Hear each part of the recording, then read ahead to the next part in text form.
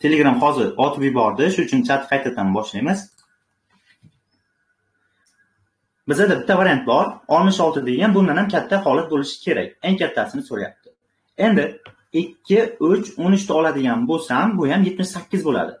Eng katta demak bizdan butun son so'rayapti. Yuzdan kichik bo'lgan va uchta turli tub sonlarni ko'paytmasi. Different prime numbers. The product of. Yetmish sakkizdan kattasi bormi ustozlar? Yetmish sakkizdan. Yuzdan oshib ketar ekan. ha qolgan holatlarni hammasi yuzdan oshib ketadi demak maksimal yetmish sakkiz bo'lishi kerak. Shunda bizada eng kattasini so'ragani uchun faqatgina yetmish sakkiz bo'ladi. Qolgan holatda demak bundan oshib ketar ekan. To'g'ri javob c variant bo'ladi. Ikkita qiymat equal. Teng bo'ladi. Tushundingizlarmi endi ikkinchi masalaga diqqatimizni qaratamiz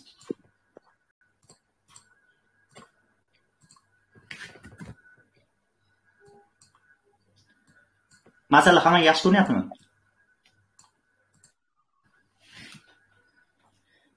yaxshi. Hammaga yaxshi ko'rinyapti Ha, yaxshi. endi tarjimasiga e'tibor beramiz. Mixail deyapti open degani fe'l ochmoq.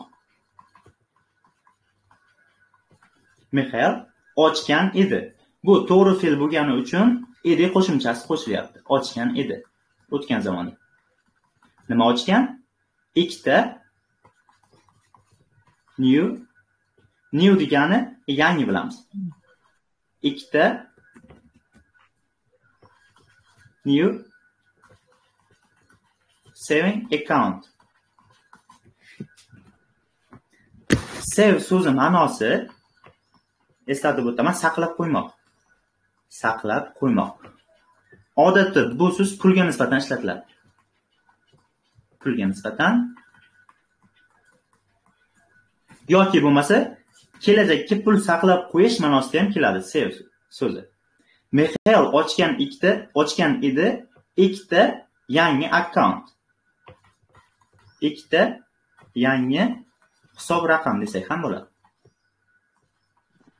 Endi pul saqlanib qo'yiladigan hisob raqam demaymiz. Shunchaki save so'zi kelyapti tarjima qilish shart emas biza bilamiz hisob raqamda faqat pul saqlanadi. Mixail ikkita hisob raqam ochgan. S and t deyapti. And bilamiz va deb tarjima qilinadi at the beginning of bo'lsa ning boshlanishi. At the beginning of. Nimaning deb boshlanishi tarjimasi. At the beginning of a certain year bo'lsa ma'lum bir yilning boshlanishi.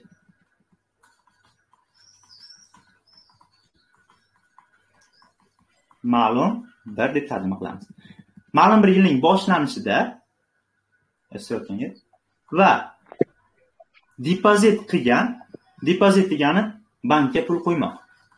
Depozit bankka pul qo'yish yoki bankka pul qo'ymoq.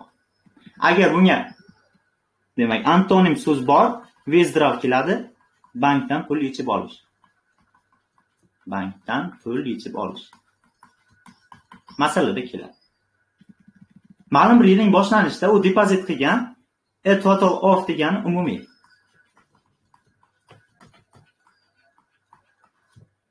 Umumiy besh ming dollar. Endi two accounts bo'lsa ikkita akkauntiga unda s bilan t akkaunt bor. Mana bunga x demak pul qo'ygan bo'lsa keyingisiga bilamiz besh ming minus x summa qo'ygan bo'ladi. Sababi ikkita akkauntiga jami qancha pul qo'ygan? Besh ming dollar pul qo'ygan deyapti masala sharti bo'yicha. Account s s hisob raqam desak ham bo'ladi. Earn bo'lsa pulga nisbatan ishlab topmoq. Pulga nisbatan ishlab topmoq.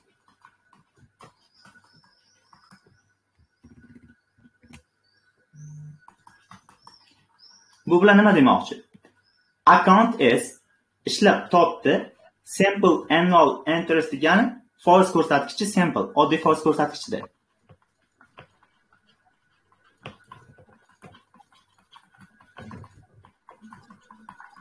Oddiy foiz ko'rsatkichida. Oddiy foiz ko'rsatkichida at the rate of degani ning foiz ko'rsatkichi. To'rt foiz ekan. Account t hisob raqam ishlab topdi. Earn bu ham sample annual interest yillik foiz ko'rsatkichi at the rate of rate besh foiz ekan. And zero zero bor deb tarjima qilinadi. Yoki ikkalasi ham bor. Endi mana shu so'z gap o'tgan zamonda bo'lgani uchun buni ko'plik shakli ar ko'plikda o'tgan zamon shaklida kelyapti. Bu ham bor deb tarjima qilinadi va bor bo'lgan bo'lsa no other transaction degani mana bu no degani yo'q gapni minus qilib u yerda hech narsa yo'q boshqa tranzaksiyalar bo'lmagan. No other transactions degani tranzaksiya nima? Pul ko'chirish yoki pul qabul qilib olish. Bankka pul qo'yildi. Qo'yilgandan keyin qanchadir yil o'tdi o'sha mobaynida hech qanaqa tranzaksiya bo'lmagan deb non so'zi bilan kelyapti. And the two accounts ikkita akkauntda hech qanaqa tranzaksiya yo'q. Bor so'zi zero bor no kelgani uchun umuman minus ma'no beryapti. Tranzaksiya yo'q ikkita akkauntda agar if the total amount total amount bilamiz umumiy summa. Total amount umumiy summa. Umumiy summa qarang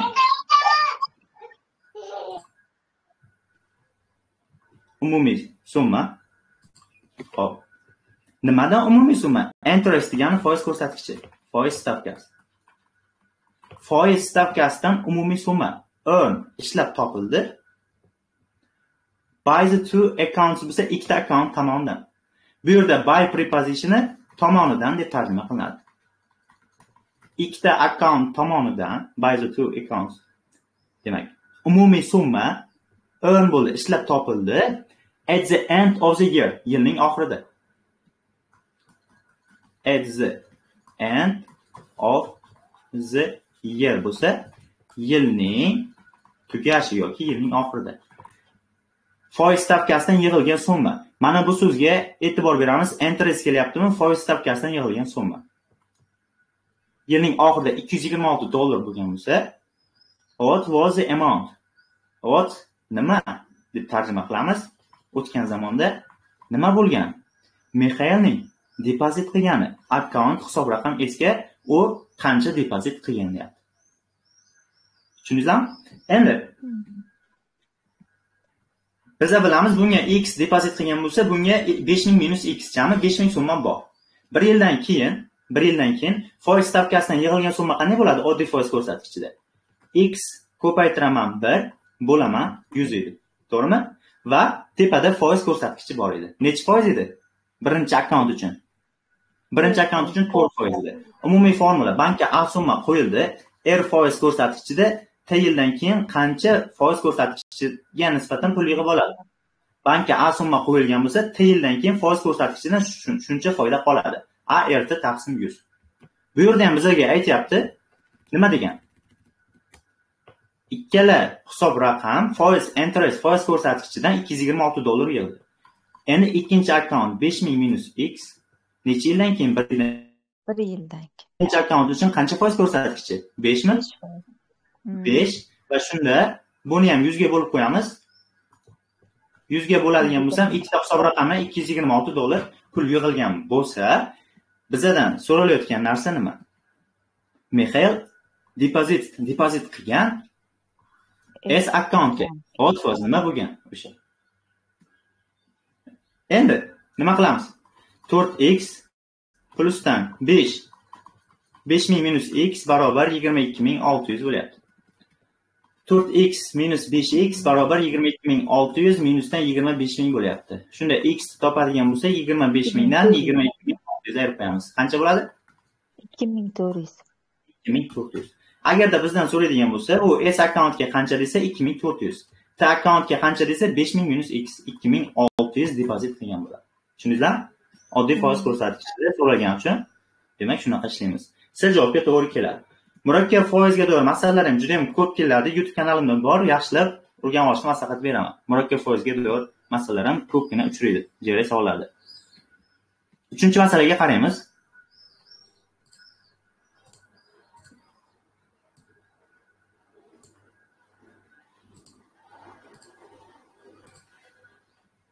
Uchinchi savol.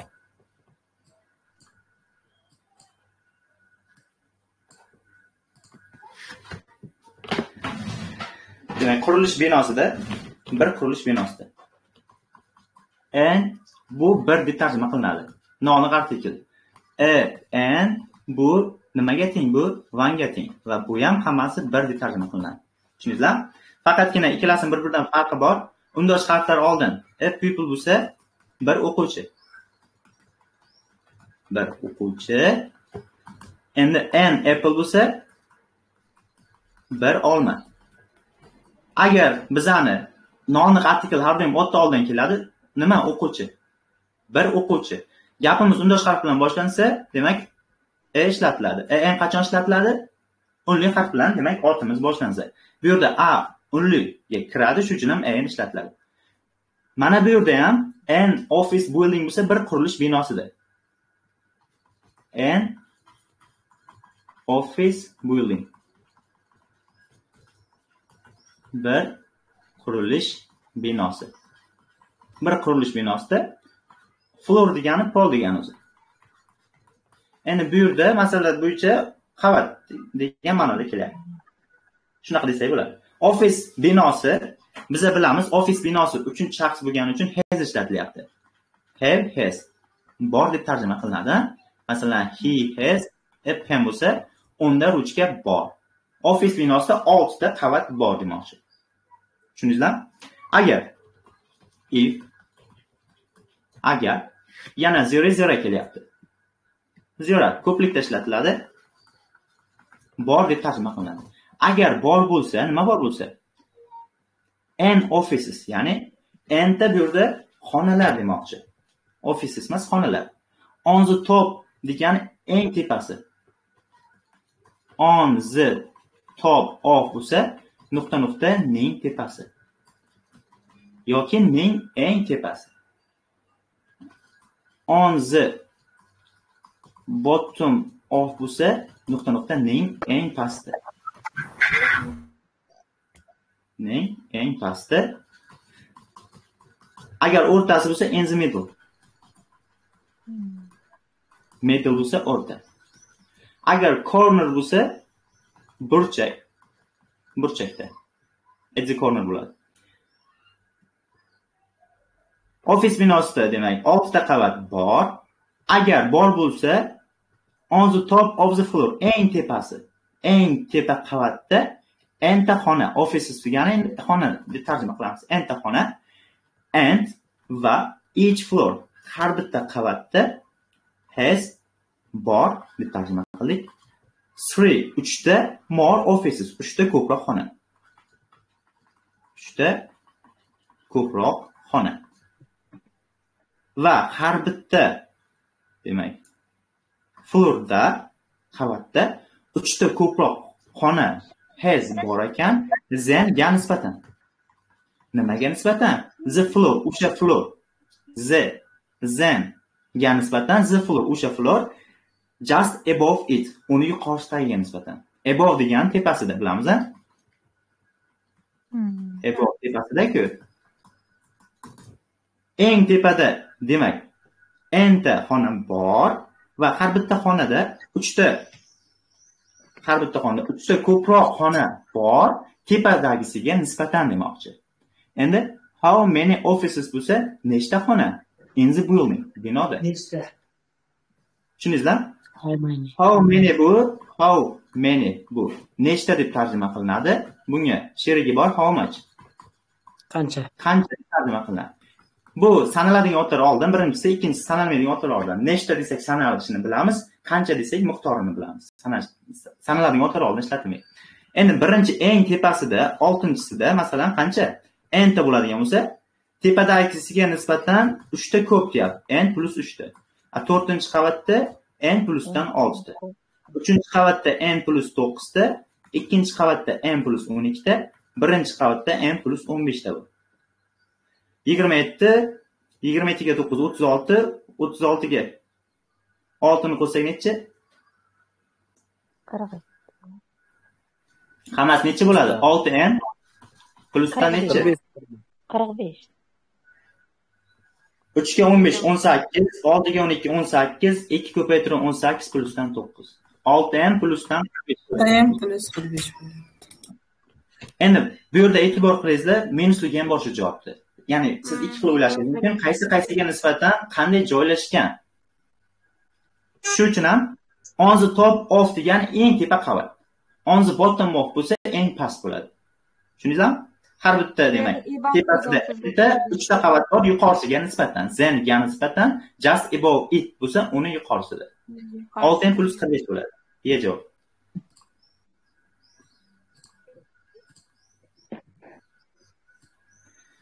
to'rtinchi masalaga qaraymiz tarjima qilishga harakat qilamiz.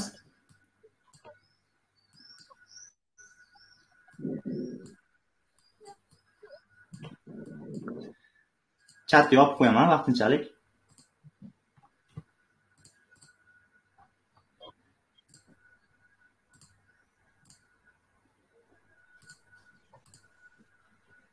Assalomu alaykum ustoz. Eshitaman alaykum assalom uchinchi kvartal degani yetmish besh foiz bo'ladida yo'q o'sha uchinchi kvartalda foiz so'ramayapti data ma'lumot so'rayapti. Nima turibdi? The table above bo'lsa yuqoridagi jadval.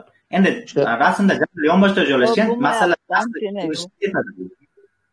the table above. Yuqoridagi jadvalda mikrofonlarga qaraymiz. Boshqalarga vaqt bermay. Yuqoridagi jadval bizga nima qiladi? Show fe'li bor ko'rsatmoq. Bizga ko'rsatar ekan the number of points bo'lsa nuqtalarning soni. The number of bo'lsa nuqta nuqta nimaningdir miqdori yoki nimaningdir soni. Bundan keyin ham odatda ot keladi. The number of points bo'lsa points nuqtalar. Number to'rt bo'ladimi ustoz bir bo'lib qolyapti javob shunda ha to'rt nuqtalarning soni the number of points. Jadval bizga nuqtalar sonini ko'rsatadi. Qanaqa nuqtalar? Scored by bo'lsa team bo'lsa jamoa tomonidan yig'ilgan. Ochko ballar team bo'lsa bu bir jamoa. Bir jamoa va tomonidan yig'ilgan och- ochko. Tomonidan yig'ilgan ball desak ham bo'ladi. Bir jamoa tomonidan yig'ilgan ballarni bizaga ifodalar ekan. Each of qirq sakkizta o'yinda. Qirq sakkizta o'yin. Tushundingizmi qirq sakkizta o'yinning har biri.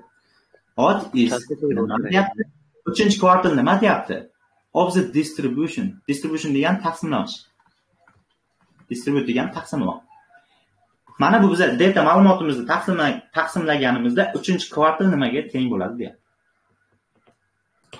tushundingizlar? Endi agar kvartalni tushunmasa box plot birinchi kvartal ikkinchi kvartal uchinchi kvartal to'liq video darsimiz bor. Youtube kanalda ham gruppaga ham tashlangan birinchi o'rinda bizaga data qanaqadir ma'lumotimiz jadval ko'rinishida berilyapti berilyapti. O'sha ma'lumotni biza demak osonroq yetish uchun to'plam ko'rinishga o'tkaza olishimiz kerak. Number of points bo'lsa nuqtalar soni. Number of the o'zi ning sonida frequency bo'lsa chastotasi yoki takrorlanishlar soni. Chastota yoki takrorlanishlar soni. Bunda Nol quvish ball. ko'payadimi, quvish qaraymiz. Nol ball mana bu yerda frequency besh marta takrorlangan deyapti. To'plam qilib oladigan bo'lsam bir ikki uch to'rt beshta. Frequency degani takrorlanishlar soni esdan chiqarmaymiz. Sakkiz demak mana bu bir ball olganlar sakkiz marta takrorlangan. Mana bu yerda jamoalar bor jami qirq sakkizta jamoa. Demak har bitta jamoa qanchadan ball olgan? Bir xil ball olganlar borda. Masalan beshta jamoa umuman ball olmagan beshta mana. Nol bor. Va undan keyin sakkizta jamoa bir olgan. Bir bir va hokazo bir. Mana bu sakkizta. Undan keyin ik- ikki ball olgan nechta jamoa? To'rtta jamoa. To'rtta jamoa. Va oxirgisi keyingisi oxirgisi debman o'n beshta takrorlangan uch ball olganlar. Uch uch va hokazo uch. Mana bu o'n beshta. Bu to'rtta mana bu beshta va undan keyingisi to'rt ball olgan to'qqizta. To'qqizta to'rt bor va besh ball olgan to'rt nechta jamoa? To'rtta jamoa. Besh besh va hokazo besh. To'rtta jamoa va undan keyin olti bola ikkita. oltita olti ikkita va yetti ball olganlar bitta jamoa ekan mana biza yozib chiqdik. Mana bu to'plamimizda jami qirq sakkizta element bor. Element bor. Endi biza uchinchi kvartalda qanaqa topardik? To'plamni teng ikkiga bo'lardik to'g'rimi? To'plam ikkiga bo'linadi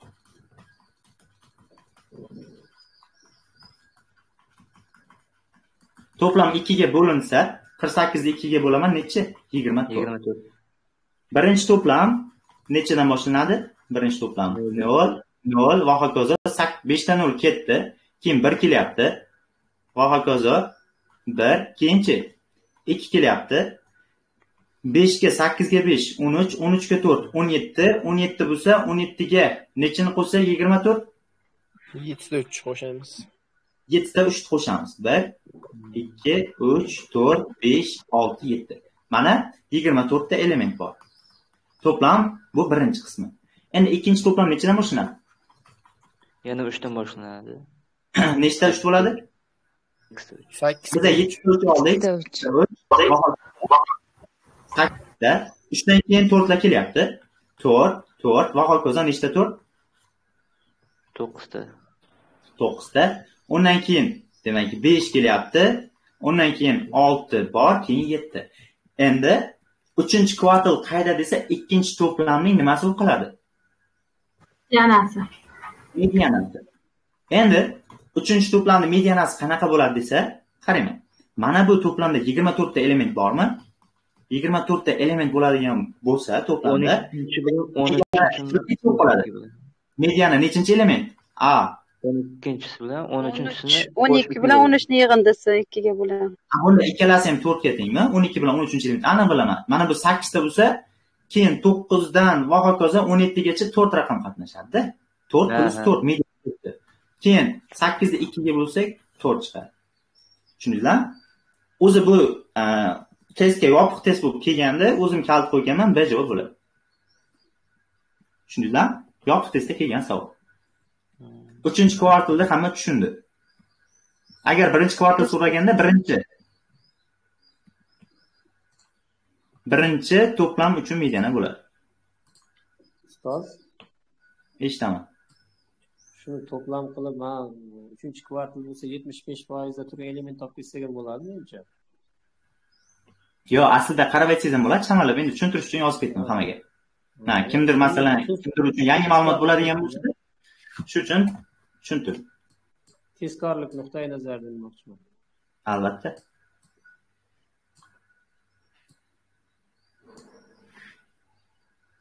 Yetmish beshinchi yetmish beshinchi protsent qanday topamiz? O'zi masalan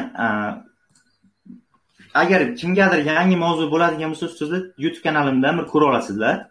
Gruppaga ham tashlangan box plot mavzusi bor keyin kvartal haqida ma'lumot berganmiz. To'liq ko'ra olasizlar kvartal bo'yicha- degani o'zi to'rtdan bir degani Ha, uchinchi shunaqa. to'rtdan birlikda Hmm.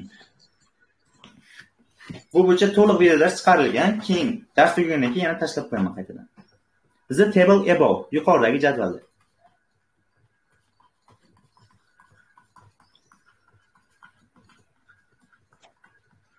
Yuqoridagi jadvalda tarjimasi yana ko'rsatarkan show fe'li ko'rsatmoq. The annual revenue bo'lsa yillik daromad. Yetti yillik daromad. Yillik daromad. Revenueni o'zi daromad annualni o'zi yillik deb tarjima qilinadi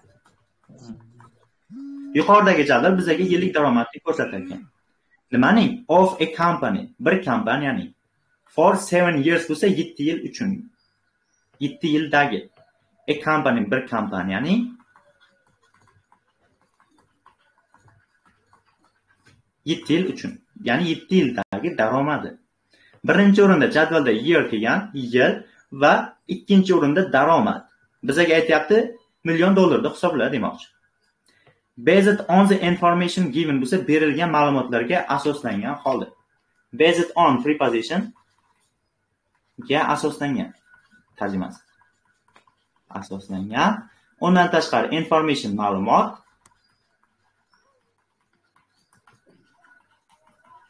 ma'lumot va give degan fe'l bor bermoq. Buni uchinchi shakli ikkinchi shakli aga o'zgaradi uchinchisi given bo'ladi. Shunaqa so'zlarni hammasini ko'rib qolsangizlar demak bermoq deb tarjima qilasiz. Faqatgina given bo'lsa bu yerda berilgan deb tarjima qilinadi. Endi gap to'liq. Based on the information given deb yozib ketaman.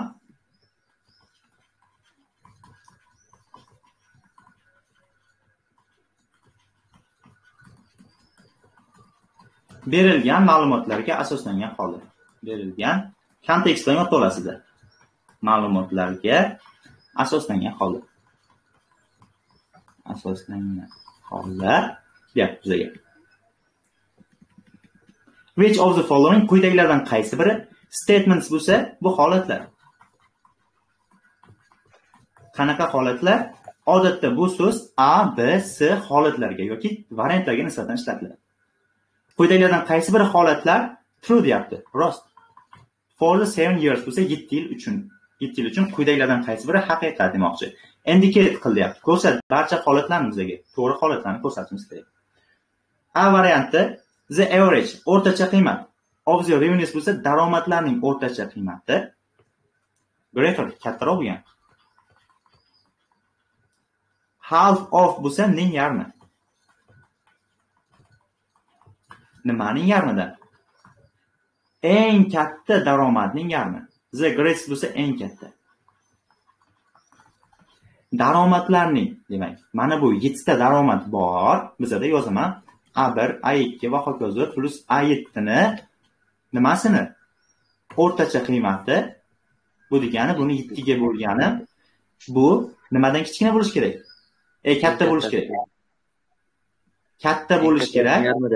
A maksimalda yarmidan. Mana shu o'rinlimi degan bizga mana shu holat bajariladimi degan biz tekshirishimiz kerak buni. Bu uchun nima qilaman? Hammasini qo'shib chiqaman. Oltiga olti o'n ikki yigirma o'ttiz uch qirq uch qirq to'rt ellik to'rt oltmish oltmish yetmish yetmish to'rt bo'lyapti. Yetmish to'rt yetmish to'rtni yettiga bo'lganim kattami? A maksimalni ikkiga bo'lganim. A maksimal nechi? O'n oltimi? Ikki bo'lsak sakkiz o'n olti taqsim ikki. Yetmish to'rtdan katta sakkizdan ikkala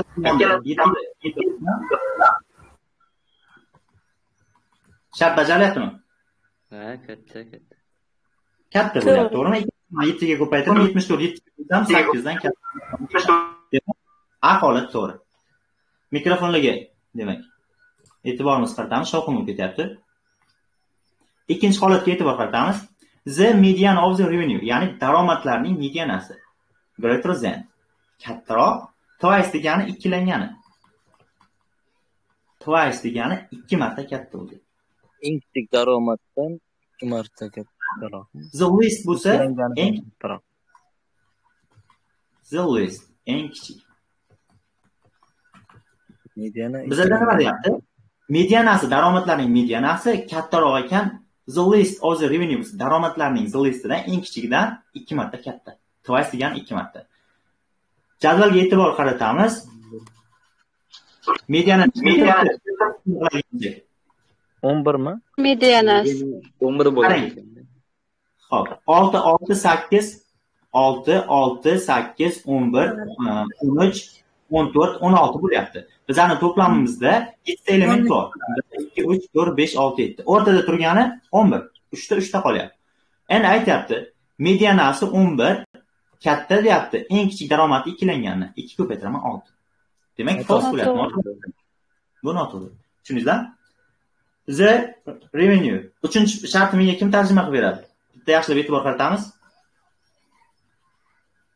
ikki ming sakkizinchi ikki ming sakkizinchi yildagi daromad morezen kattaroq oltmish persent greater than revenue for preceding year oldingi yildagi daromadning oltmish foizidan kattaroq deyapti. Ikki ming sakkizinchi yildagi daromad. Yo'q ikki ming sakkizinchi yildan keyingi yildagi daromad. Yo'q u ham noto'g'ri. Bittasi. Demoqchi menimcha.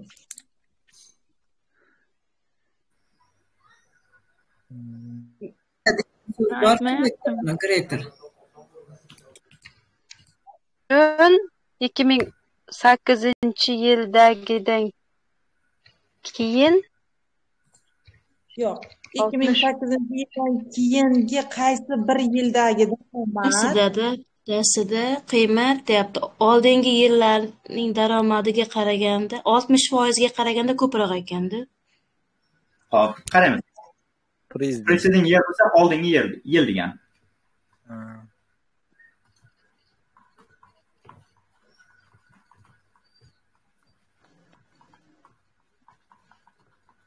oldingi yil. To'g'rimi? Bizadan nimani so'rayapti. The revenue daromad daromad for preposition uchun. One of the years bo'lsa yillarning bittasi. Bizaga masalan keladi? One of the books. Books. Kitoblarni kitoblarning biri kitoblarning biri. Bizada enta kitob bor. Aynan biza qaysi kitob haqida gap ketyapti biza buni bilmaymiz. Tushunasizmi bitta. Kitoblarning bittasi qaysidir bizaga noma'lum bu narsa lekin aniq bittasi. One of the years bo'lsa yillarning biri.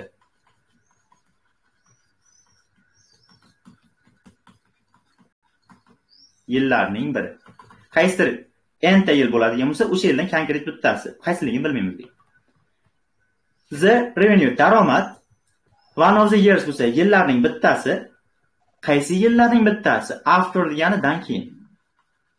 ikki ming sakkizinchi yildan keyingi yillarni birortasi. Olaman ikki ming sakkizinchi yil qani? Mana. Mana bu yermi pasini pasi haqida gap ketyapti. ikki ming to'qqizdan oxirgi yozda ikki ming o'n to'rtinchi yilgacha gap ketyapti. Daromad. Ikki ming sakkizinchi yildan keyingilar after keyinku birortasi. O'sha birortasida oz more than more than ko'proq. Morni o'zi ko'proqku. Zenni o'zi ga nisbatan dedik ga nisbatan. Ga nisbatan ko'proq oltmish foizga. Greater than kattaroq ekan undan oldingi yilga nisbatan. Tushunasizlar? Daromad ikki ming sakkizinchi yildan keyingi birorta yil uchun deyapti.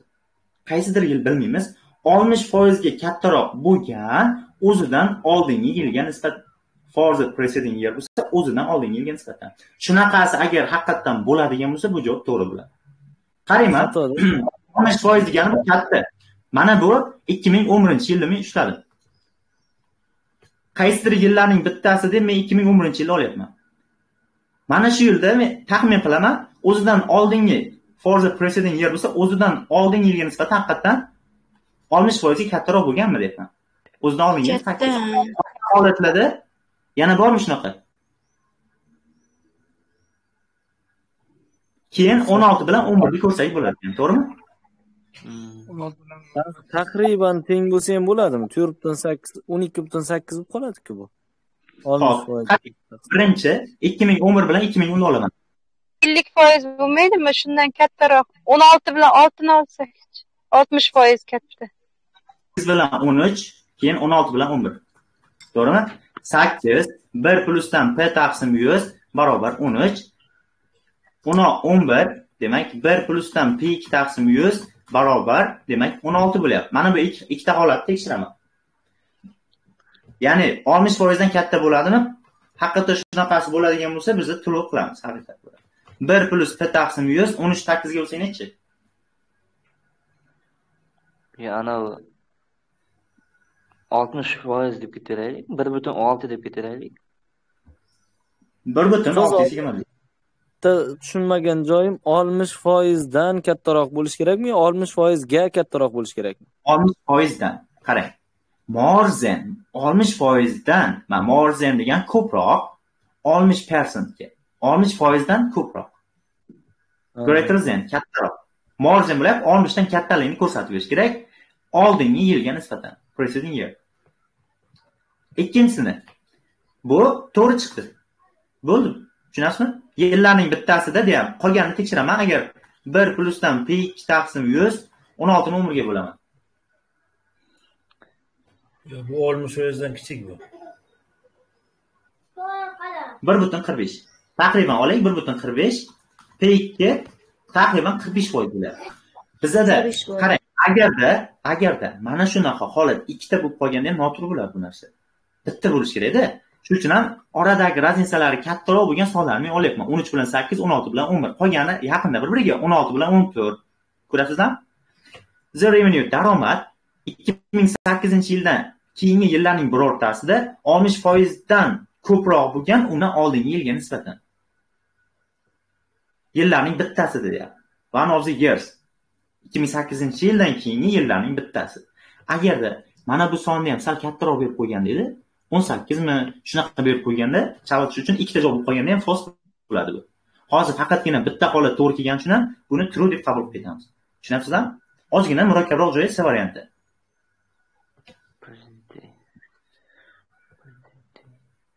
preceding year. Tarjimani qilib olsak bu yog'ini hisob kitob qilsak bo'ladi. Hozir shu joyda qaysi so'zga tushunmagan bo'lsangizlar so'rab ketingizlar uzoq berib ketaman. Hamma tushundimi c variantga nima deyilayotganiga c varianti bitta joyga tushunmadim qaysi joyga oltmish foizdan ko'proq degan ma'no anglatuvchi so'z qayerda bu yerda oltmish foizga morzen oltmish foiz morzen ortiq deganiku oltmish foizdan ortiq daromadga nisbatan kattaroq tushundingizmi tushunardim ha. o'shanaqa besh ustoz b variantda ustoz b variantda lest so'zi kamida ham deb tarjima qilinadimi bir joylarda? Eng kam. Yo'q qarang. The list degani eng kam. The list bu so'z eng kam. Eng kam. Ba'zi joylarda kamida deb kelmaydi kamida. Kamida boshqa so'z u at least at least bu preposition eng kamida. Eng kamida the least eng kam degan ikkalasini farqi bor. Shu bilan adashtiryapsiz. At least bilan the least bir biridan farqi bor. At least eng kamida the least eng kam tushundingizmi?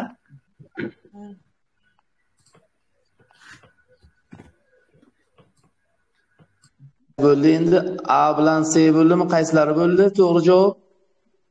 Beshta tak a bilan s bo'ldi. Endi botga yuborganda algoritm bo'yicha b javob yuborasizda chunki ikkita javob bo'lsa b uchta bo'lsa c edi. Qolgan javoblar hammasiga d yoki e bo'ladi. To'rttadan ko'p bo'lsa e edi. Hozir bot algoritmi bo'yicha ikkita javob tekshirmaydi. Agar bir nechta javoblarni tanlash kerak bo'lib qolsa bitta javob to'g'ri bo'ladigan bo'lsa farqi yo'q. A ikkita bo'lsa b uchta bo'lsa c to'rtta bo'lsa d besh va undan ko'p bo'lsa e javob yuborasizlar ana shu beshta masalaga- ket yillarga aytyaptimi beshinchi masalada ketma ket yilga aytyaptimi qanaqa ketma ket?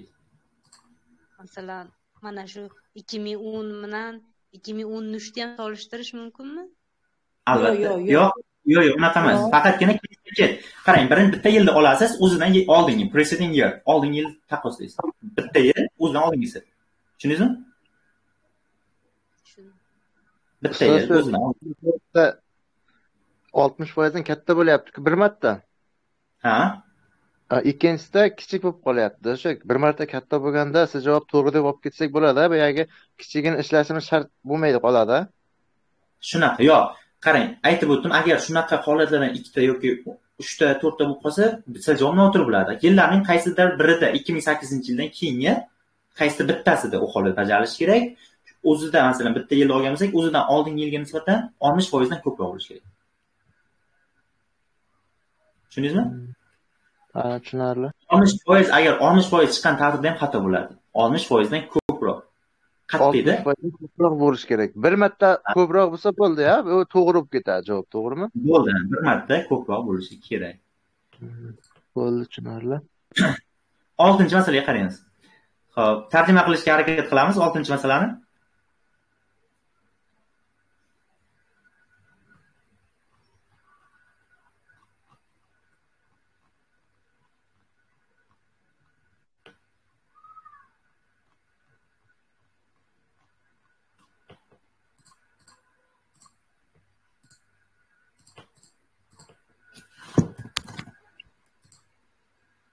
qanaqadir mashq to'pi bor ekan.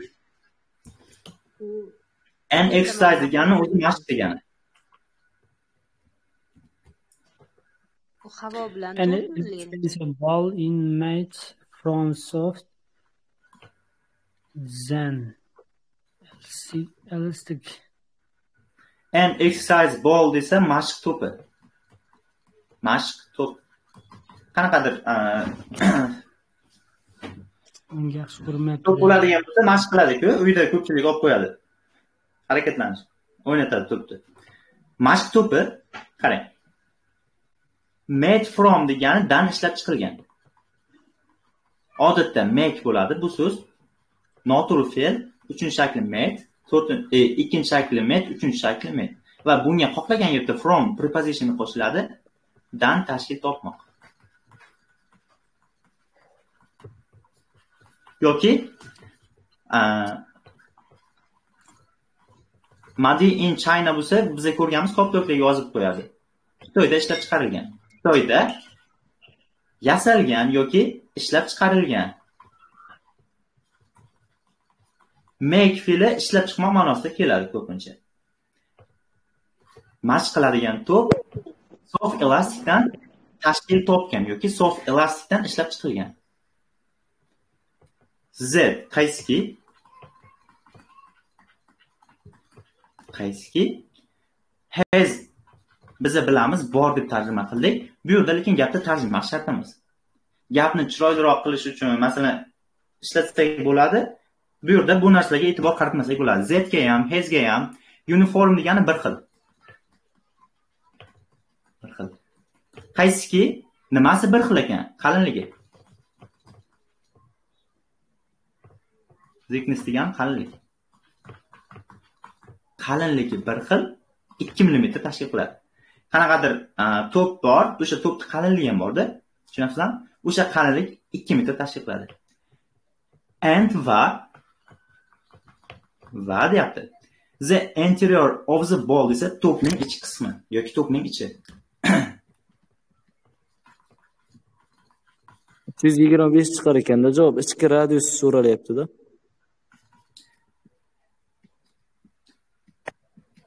To'pning chiqsa kerak yoki to'pning ichi. Anterior degani ichki degani to'g'rimi? To'pning ichi. Nima qilingan ekan? Is filled degani to'ldirildi. Havo bilan to'ldirildi. Ha fill degani to'ldirmoq. Demak passivosda kelyapti. Is filled to'ldirildi. Ya'ni ishni bajaruvchi shaxs noma'lum bo'lyaptida to'ldirildi. With air bo'lsa havo bilan havo bilan to'ldirildi. The ball the ball to'p the shape of bo'lsa ning shakli. The shape of. Nuqta nuqta ning shakli. Gapni to'liq tarjima qiladigan bo'lsak to'pning shakli. Sfera ko'rinishda va exterior degani tashqi. Tashqi diametr 65 santimetr yoki 650 millimetr deyapti or is nima the radius of the anterior of the ball ichki to'pning radiusi nimaga teng deyapti hozir bizada qarang to'pning qalinligi 2 millimetr qalinligi 2 millimetr va Bizaga yana nima narsa berilgan? Tashqi diametr berilgan. Tashqi tashqi. Tashqi 650. Diametr qancha? 650 millimetr. Endi olti yuz ellikdan to'rt bo'lamiz Mana bunaqa bo'lyapti. Mana bir, Ikki tarafda ikki millimetrdan qanlikda ayirib tashlashimiz kerakda. ha shunaqa. Halqa bo'lyapti. Halqa bo'lib qolyapti. Mana bunaqa bo'lyapti. Mana bu nima? O'sha qalinligi ikki millimetr bo'lgan materialida endi bu. Halqa. Endi mana bu markaz bo'ladigan bo'lsa chiziq chiziq tortaman. Mana shu tashqi diametr polni d bizada 650. 650. Endi mana bu x masofachalar bor bizada 2x masofacha. 650 dan 2x masofachani ayirib 2 ga bo'ladigan bo'lsam, ichki aylanani radius kelib chiqadi. A bu tomondan x masofachani o'zi qalinligi 2 ku. 2 2 bo'ladi. 650 dan 4 ayirib 2 ga bo'lamiz. 646 ni 2 ga bo'ladigan bo'lsam, necha bo'ladi? 323 ekan. Tushundingizmi? 123 bo'lar ekan. Shunda ancha o'xshaydi. Masalani salgin- salgina o'zgartirib berish ham mumkin. Masalan, exterior degani tashqi diametr emas, ichki diametri berilishi mumkin. Katta radius topib berish mumkin. Holatga qarab ishlab ketaverasiz.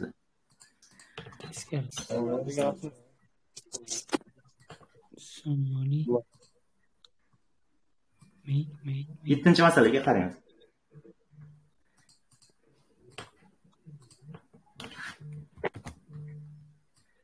Yettinchi masalani birgalikda tarjima qilishga harakat qilamiz. Bitta men emas, hamma gapirishi kerak darsda. Shuning uchun ham birgalikda ishga harakat qilamiz.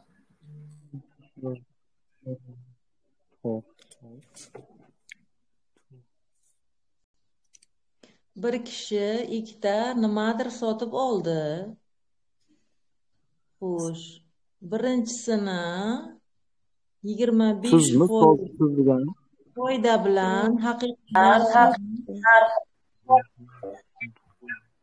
haqiqiy narxidan yigirma besh foiz foydasi bilan sotdi va boshqasini yigirma besh foiz zarariga sotdi haqiqiy narxidan. Yo'q, o'zini narxiga, o'zini agar ularni har birini narxi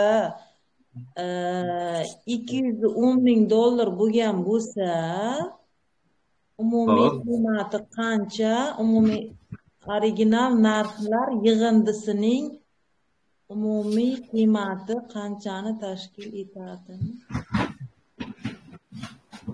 Ortiqcha deyapti. sotmoq sotib olmoqmi? Adashtirib qo'ydingiz Qaraymiz. Realtor degani adashmasam nima edi? Makler edi. Makler. Tarjimasini ko'rasizlar. Er e, realtor degani bir makler. Makler degani uy sotuvchimi shunaqa? O'zbek tiliga to'g'rimi? Bir uy sotuvchi.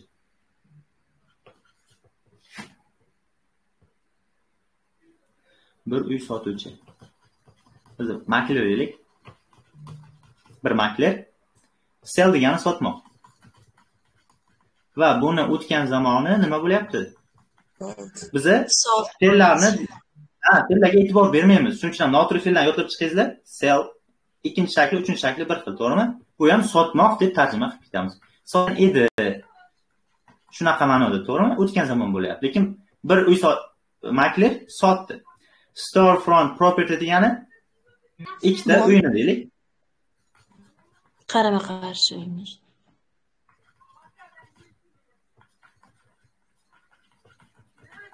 Storefront bo'lsa, ikkita qanaqa uy bo'ladi? qarama qarshi Qarama. degani Ha, shunaqa qarama qarshi. Qarang, property degani mol boylik aslida.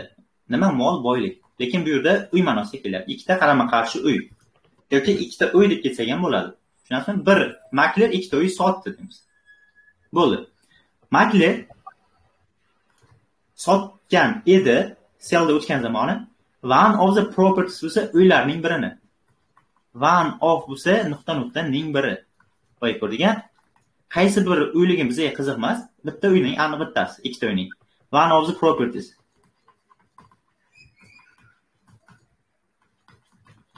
uylarning birini deb tarjima qilamiz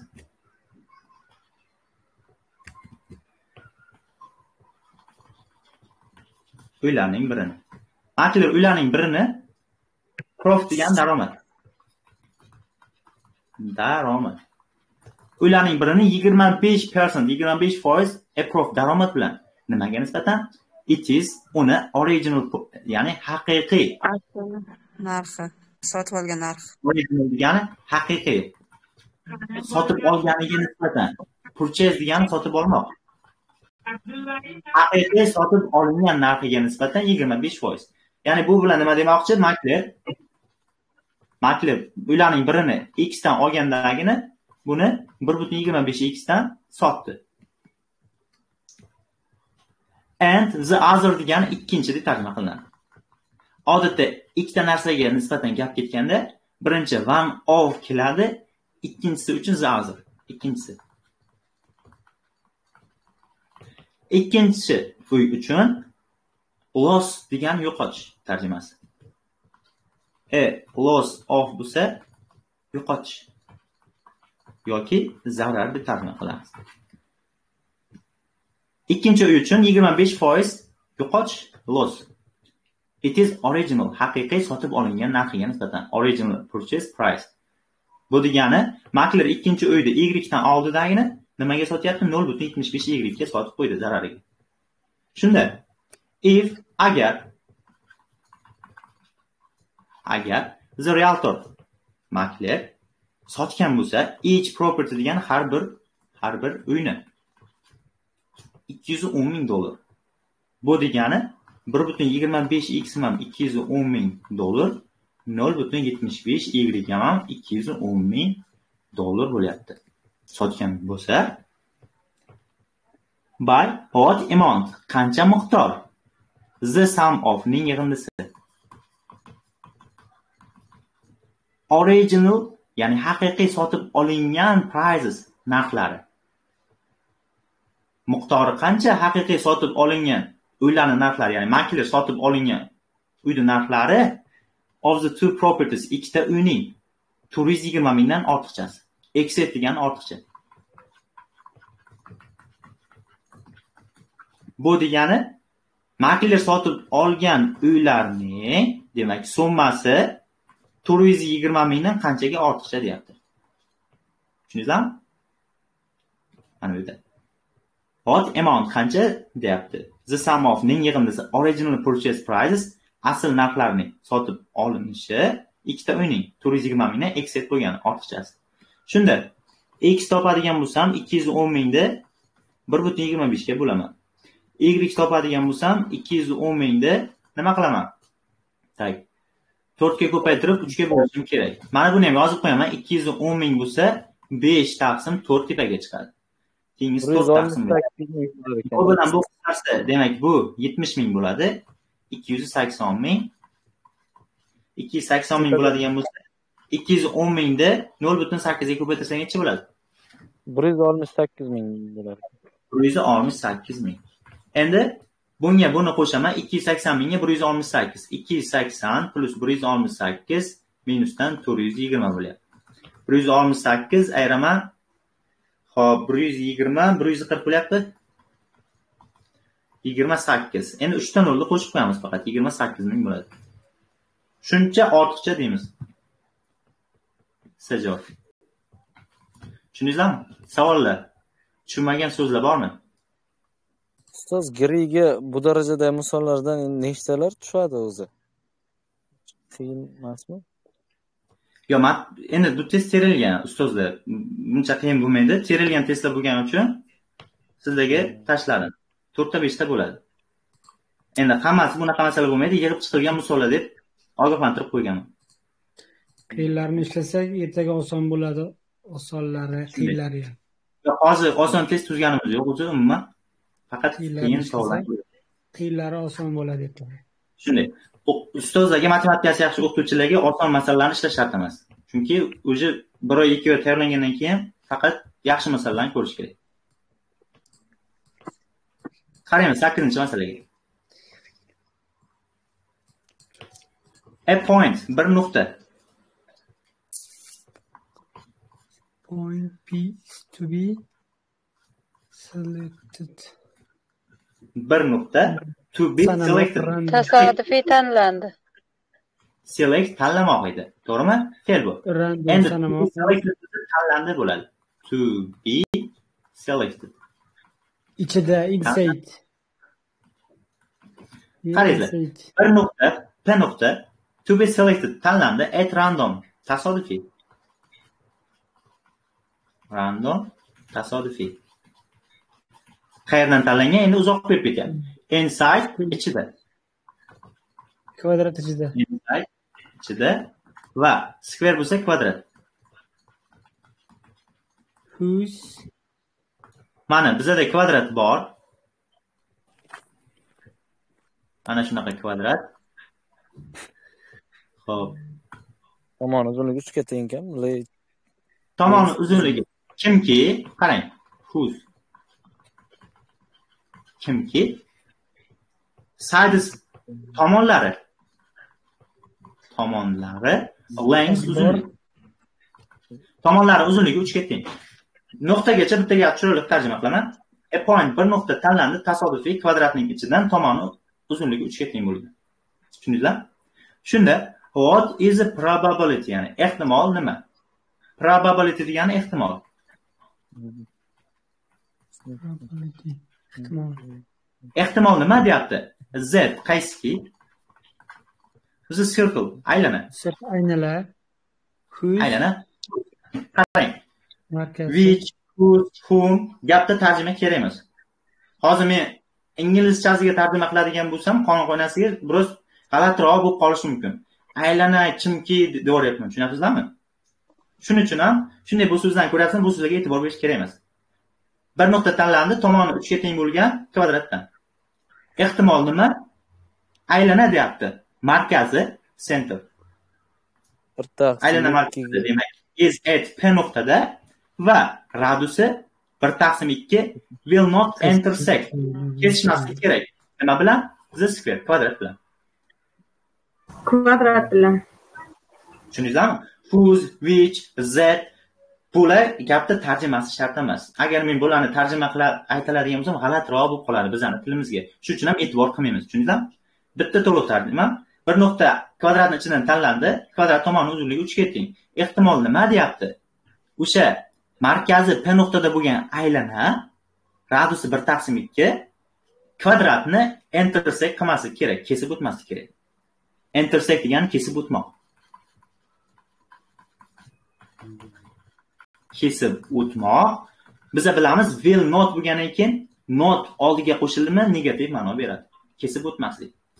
Endi bizada aylanani tak aylanani radiusi bor. Bir taqsim ikki. Endi bu qanaqa joylashishi kerak? Hozir bu geometrik ehtimolga tushadi. Qarayman p nuqta o'zimcha o'ylayman qayerda bo'lganda u kvadratni kesib o'tgan bo'lar edi deb.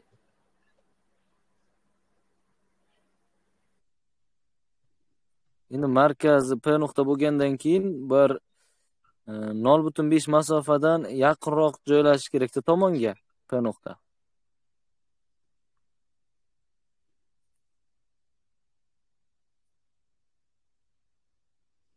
Ichkarida tomonga nol butun yigirma besh e, masofada joylashsa kelishib kamida nol butun besh. Ha endi aylana e, anaqa qilib nima qilamiz? Tak, chizaman bu yerdan bu yerdan ham chizaman va bu yerdan ham chizaman. Hop buni ham chizaman. Qarang agarda aylana eng kamida mana shunday holat bo'lganda men mana buni nol butun besh deb olyapman. Mana bu masofani. E nima deb olyapman? Devor qalinligi. ha endi mana bu yerga aylana chizdim. Agar aylana chizadigan bo'lsam mana aylana chizildi.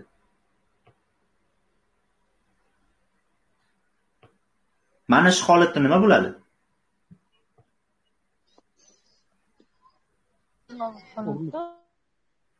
urinib o'tadi hop urinadi kesib Shuning uchun qanaqa holat bajarilishi kerak?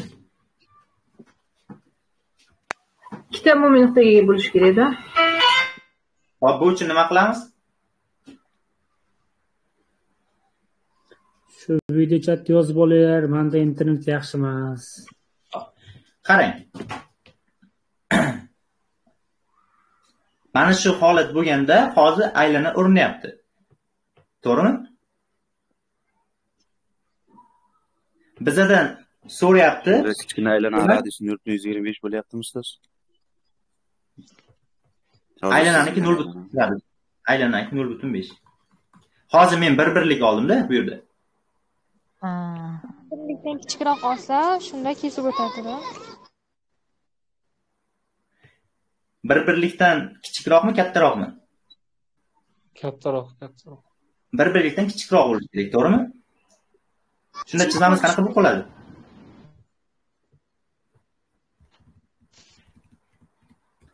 Qanaqa holatda bo'lishi kerak?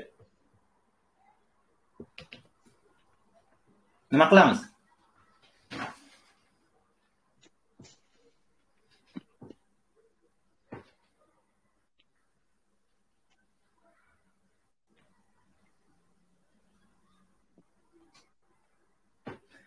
Endi qaraydigan bo'lsak, aylanamiz, demak, mana buni tashqarisida joylashganda nima bo'lyapti? Eng kamida. Nima deysiz?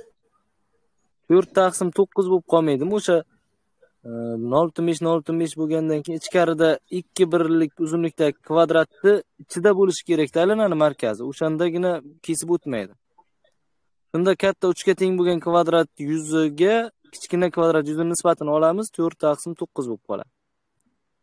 Hozir ichkaridan kvadratcha chizdingiz-ku chizmada. Shunday. Bu o'sha chizmani ustida aylana markazi bo'lib qolsa Hop. urinadi boyagi kvadrat ikkita boya devorga o'xshagan qismini uzunligi qaraymiz. nol butun beshda o'shanda ichkarida joylashishi kerak. To'rt taqsim to'qqiz deb o'yladim mana bunaqa chizdim. Mana bunaqa. Mana mana bu yerda radius turibdi. Mana radius turibdi. Endi bu urinyapti. Nima holatda? Men mana bu yerdan chiziq tortib olaman. Xo'p.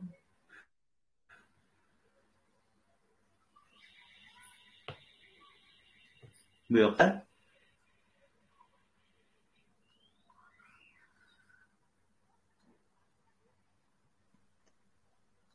mana ikkinchisini tashlasak bo'ladi. ichkarida qismini o'chirsa bo'ladi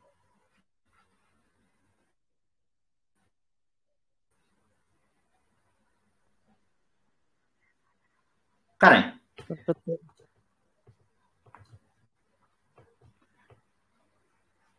Mana shu holatda demak nima bo'lyapti? Aylana urinyapti, to'g'rimi? Urinyapti. Mana shu holatda.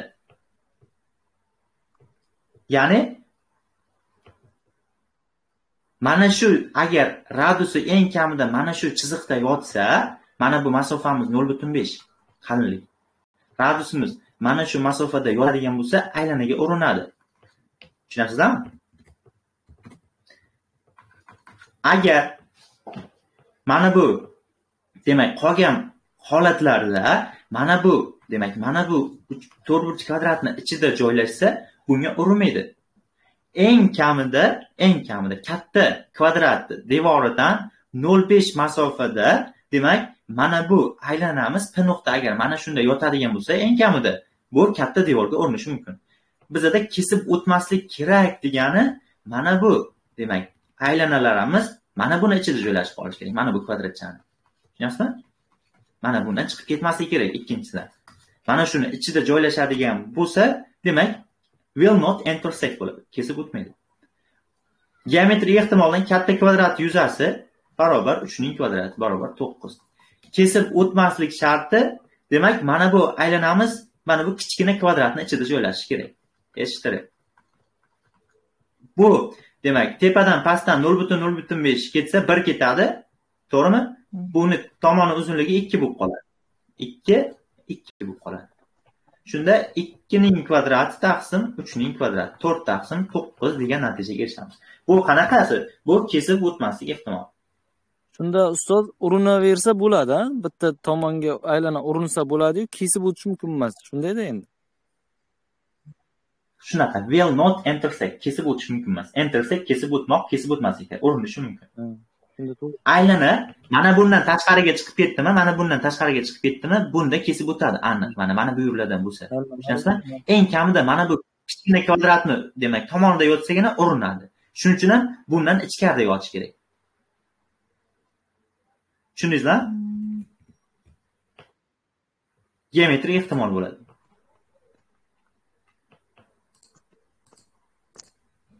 Ichki kvadrat ikki yarim qilib olinmaydimi ustoz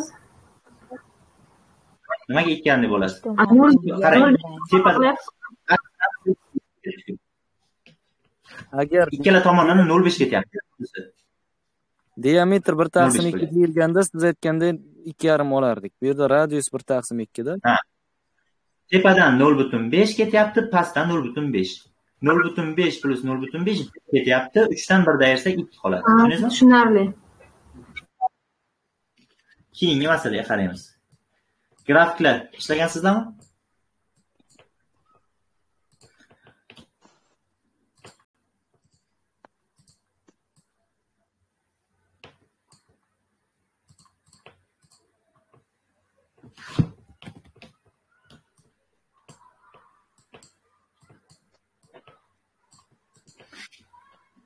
endi grafikga qaral- qaraydigan bo'lsak kunlik suv darajasi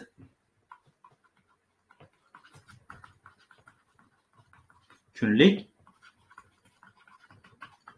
Suv level degan darajasidir. For rezervoar nima degani? Odatda suv saqlanadigan joy deyiladi. Suv ombori desak ham bo'ladi. Suv saqlanadigan joy. Omborda demak kunlik suvni statistikasi berilgan. Statistika. Mart 2000 yil va fevral 2001 yil. Endi qaraymiz bizga line berilgan chiziqlar. Y o'qiga e'tibor beraman. Bu y o'qida billion degani milliard gallon degani o'lchov birlik bizada masalan litr bo'ladigan bo'lsa bu inglizlarni o'lchov birligi milliard gallonlik o'lchov birlik y o'qida va x o'qiga e'tibor beraman. Bu yerda oylar ketyapti. O'n ikkita oy bor. Tushundingizlar? Va har bitta oyga demak to'g'ri keladigan suvni miqdorini biza topib olsak bo'ladi. Birinchi o'rinda x bilan y o'qini yaxshilab tushuna olish kerak. Va keyin bizaga to'rtta chiziq berilgan. Mana bu chiziqlar hech qachon mixed aralash tarzda kelmaydi. Mana bu long term average level ya'ni long term uzoq muddatli o'rtacha daraja. Bu birinchi o'rinda turibdimi? Birinchi grafik qayerdan boshlangan? Mana bunga to'g'ri kelyapti. Bu bir Tushundingizmi? actual level bu ikki. Va mana bu yerda qaysi grafik qanaqa ko'rinishda tasvirlab beryapti mana bular tartib hech qachon man o'zing topib ol deb aralashtirib tashlamaydi. Navbatma navbat keladi. Ikkinchisi uchinchisi drought degan qirg'oqchilik ogohlantirish darajasi. To'rtinchisi favqulodda holat. Qanaqa demak tartibda kelgan bo'lsa grafikda ham chiziqma chiziq past bilan keladi bu narsa. Tushundingizlar endi masala shartida. For uchun. How many of the ya'ni how many nechta? Nechta 12 oy uchun tarjimasi. Nechta 12 ta oy uchun. Demak bu shu 12 ta oyda nechtasi uchun bir nimadir shart qanotlanishi kerak degan nazarda tutilyapti ko'rsatilgan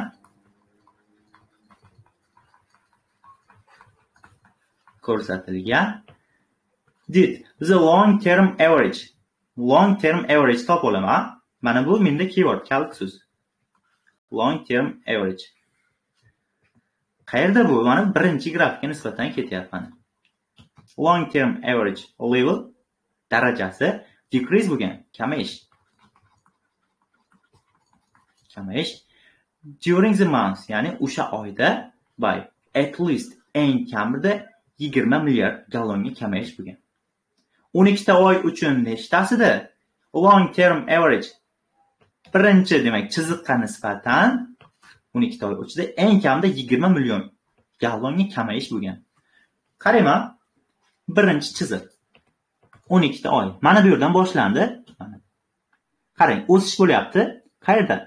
Mana bu mart martdan aprelga o'tishda unda o'sish bor. Mana yana o'sish yana o'sish endi kamayyapti mana bu joyda bir yuz yetmishta bir yuz yetmishta turibdi bir yuz yetmish pastga keldi bir yuz nechaga keldi? Pastda. Oltmishdan balandda. Bir yuz yetmishdan e bir yuz yetmish. beshdan bir yuz yetmishga keldi. Bir yuz yetmish besh mana yuqorida. Besh milliard. Bir yuz yetmish beshdan mana bu pastga tushyapti bir yuz yetmishga. Mana bir yuz oltmish bilan bir yuz sakson o'rtasi bizaga at least eng kamida mana bu so'zga e'tibor beramiz. Eng kamida yigirma million gallonga kamaygan kerak bunda demak javob yo'q. Va yana pastga tushaman. Menda bir yuz oltmishdan demak nechiga to'g'ri kelyapti? Bir yuz ellik beshga to'g'ri kelyapti yana kamayapti. Endi mana bu joyda qaraysiz сразу kamayib ketyapti mana bu joyda mana. Nechidan kamaygan? Bir yuz oltmishdan bir yuz oltmishdan mana bu yerda bir yuz yigirma bilan bir yuz qirqni o'rtasi bir yuz o'ttizga kamayib ketyapti mana bitta bor hozircha. Yana bu yerdan qarayman. Mana bu yergacha keldi. Demak bir yuz o'ttizdan bir yuz yigirmagacha o'nga kamaydi. Endi bir yuz yigirmadan yigirmaga kamaymayapti. Sababi yigirmaga kamayganda yuzga tushadi. Endi faqat o'sish bo'lgan. O'n ikkita oydan nechtasida demak kamayish bo'lgan bo'lsa bittasida o'ttizga bo'lgan. Qolganida yigirma bo'lmayapti. At least eng kamida yigirma million. Degani shuning uchun bitta o'ttizga kamayganini topdik faqat bitta javob bo'ladi tushundingizmi savollar bormi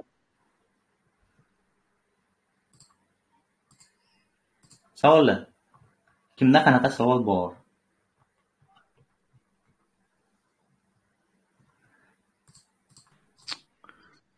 Savol yo'q, yozib oling shuni, yozib olyapsizmi? Video chatni. Ha, video yozyapti. Ikkinchi grafikga diqqat e'tiborimizni qaratamiz. Graf tushuna oldingizlar. Graf o'ziga to'xtalmayman, faqat masala shartini o'qib ketaman. Qanaqa bo'ladi?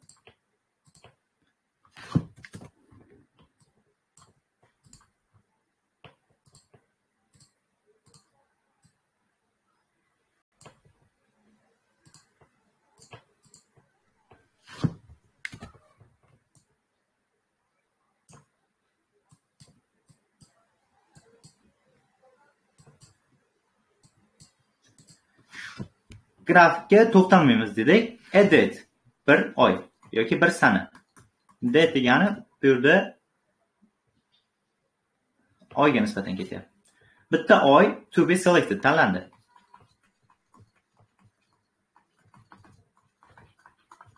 Tanlandi. At random tasodifiy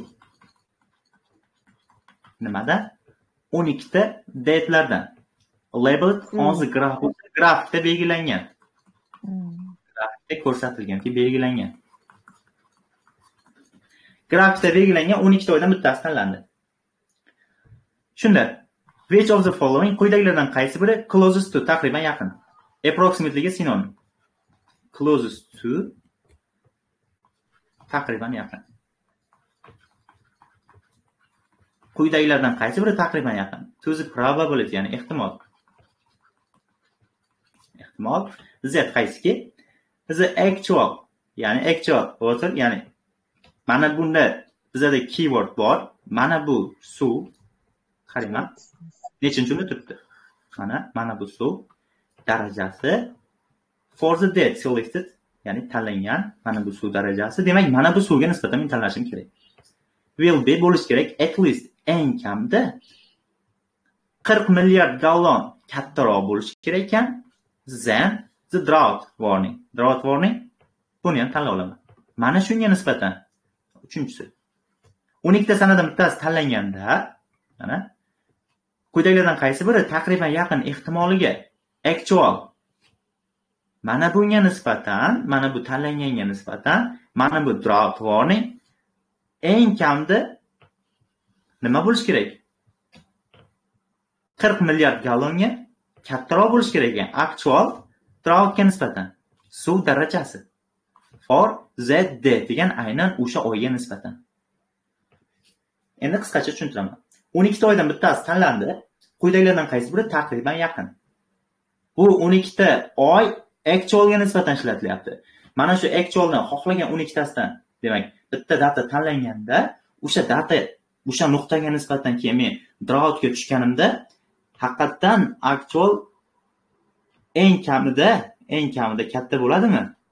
Qirq plyusdan drautga shu narsani ehtimolini topishim kerak ekan tushundingizmi actual level darajasi tanlanganda will be bo'lishi kerak. At least eng kamida qirq million gallon suvga nisbatan kattaroq bo'lishi kerak drautga nisbatan bitta narsani bilamiz o'n ikkita oy bor bizada. O'n ikkita oy. Har bitta oyni ehtimoli bir taqsim o'n ikki. Bu degani o'n ikkita oy bo'lsa nimadir bo'lish yoki bo'lmasligi teng taqsimlangan. To'g'rimi? Bir taqsim o'n ikkidan bo'lishi yoki bo'lmasligi. Hammasini qo'shib chiqsam o'n ikkiga ko'paytirsam to'la ehtimol bir chiqadi. Endi birinchi actualga qarayman grafikga ikkinchi o'rinda turibdi. Mana birinchi martga to'xtalaman. Mart. Mana keyin drautga tushaman. Uchinchi grafik. Mana bu ikkalasini razницasi demak qirqdan kattami? Bu bir yuz ellik bu to'qson. Qirqdan katta to'g'rimi? Qirqdan katta bo'lish ehtimoli bir taqsim o'n ikki. Tushundingizlarmi kichik bo'lish ehtimoli ham bir taqsim o'n ikki bo'lishi mumkin. Yo kichik yoki teng. Hozir bizada mana buni ehtimolini so'rabdiku. Hozir adan ni ayirsam haqiqatdan grafikka nisbatan qaraydigan bo'lsa qirqdan katta yoki teng. Bu bir yuz ellikda a bunimiz to'qsonda turibdi ayrilsam oltmish bir qo'shildi bir taqsim o'n ikki qo'shildi. Keyingisi bunga ikkinchi oy mana bu ikkalasiga nisbatan bir yuz oltmishda yuzda bu ham bir taqsim ikki qo'shildi. Keyingisi uchinchisi mana raznica bir taqsim ikki qo'shildi. To'rtinchisi mana qirqdan katta bir taqsim o'n ikki qo'shildi. Va beshinchisi bir taqsim o'n ikki qo'shildi. Oltinchisi ikkalasini raznicasi qancha bo'ladi aktual. Bizani long term ko'rib e uzr uzr uzr. Hozir adashib ketdik a tak tak biza qoraga qarashimiz kerakku. Qoraga ho'p mana ketdi. Uchinchisi ketdi. Necha? bir yuz qirq besh. Bu yuzdan past. Bir yuz qirqdan tepa. Bir taqsim o'n ikki. Ikkinchisi bu bu yerga chiqdi. Bu bu yerga chiqdi. Mart aprel oyi uchun bir taqsim o'n ikki. Keyingisi mana bu konstanta bo'lyapti o'zgarmas. Yana bitta bir taqsim o'n ikki. Endi keyingisi bu nechida turibdi? Bir yuz yetmishda. A buchi bir yuz yigirmaga borgani yo'q hali. Qirqdan katta. Chunki bir yuz yigirma mana bunda. Yana bir taqsim o'n ikki. Ho'p tepaga chiqdi. Bu bu yerda bir taqsim o'n ikki. Keyingisi mana bu yerda bu bu yerda yana bir taqsim o'n ikki. Keyingisi bu сразу mana bu yerga tushib ketdi. Bir yuz qirqqa ikkinchisi qayerda turibdi?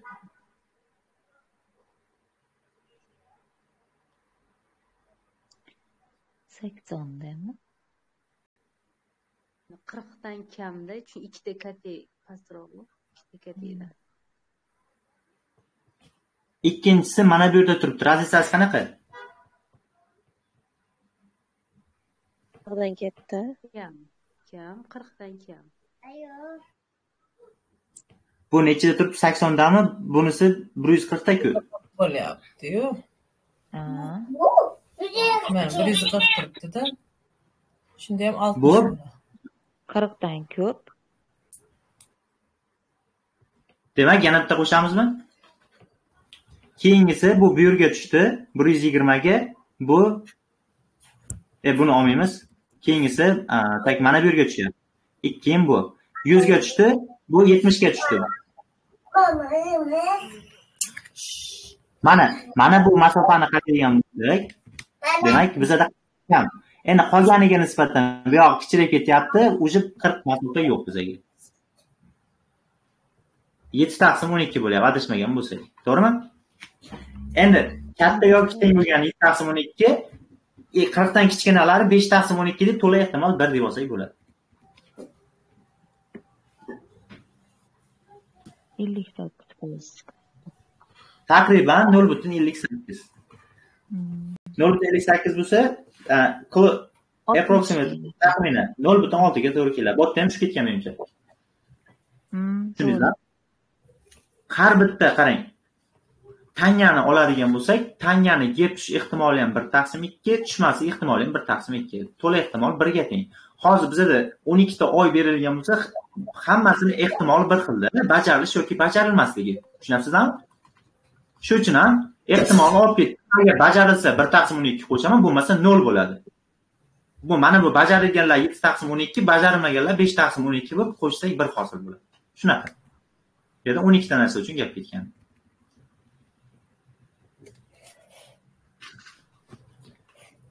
Keyingisi.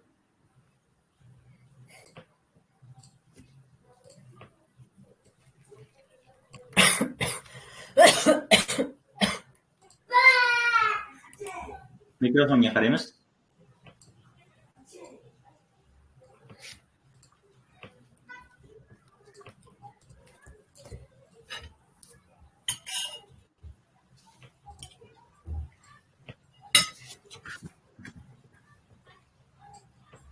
Terjemah langsung.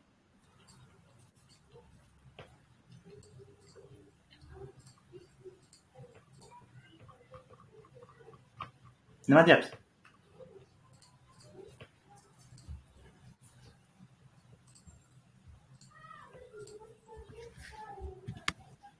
Deyapti qati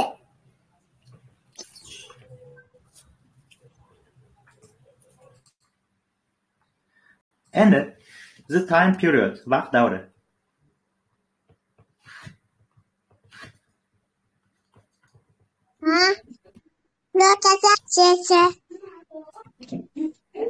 mikrofonni turib qo'ying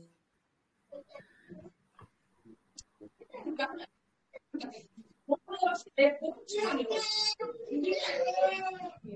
ovoz kelyapti the time? Period. Vaqt davri period davri. during mobaynida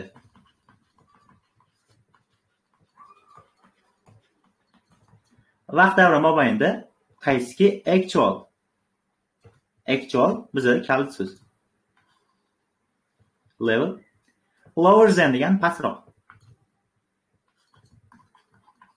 Statistikaga nisbatan pastroq yoki kamaymoq deb tarjima qilamiz qaysi bo'lishi kerak ekan. The drought. Bu ham kalit so'z.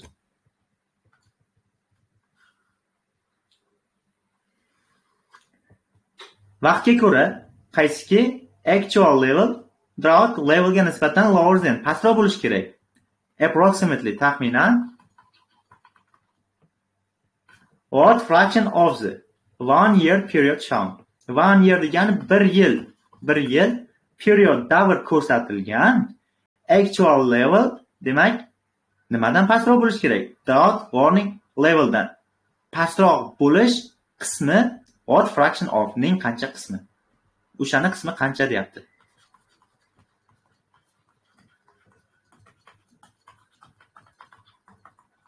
Ning qismi.